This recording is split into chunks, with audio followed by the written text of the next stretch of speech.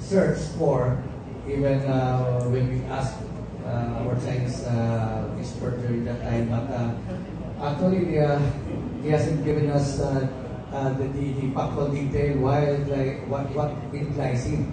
But uh, they just uh, recommended that uh, because of the presence of that glycine, so it's not recommended for for epidural or intrathecal.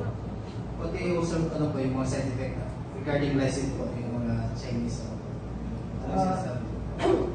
Actually, they have not given us the, their, uh, their experience though. But uh, of course, uh, even though I also uh, tried to research on the glycine, the behavior of characteristics, which uh, makes it uh, uh, contraindicated in that procedure. But I cannot find it also, doctor. I don't know. But uh, I try to, uh, to ask uh, the uh, Chinese experts which has the vast experience using levomethaline.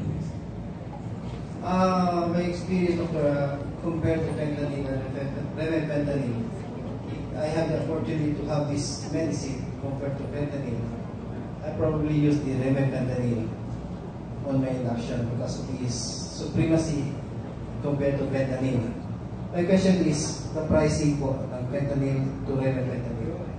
Yes.